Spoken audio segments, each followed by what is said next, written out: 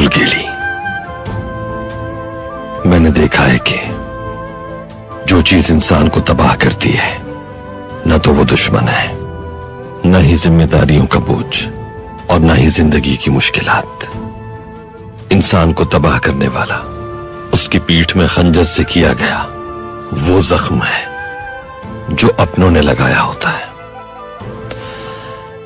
अपनों का ना समझना एक बहादुर को मार डालता है।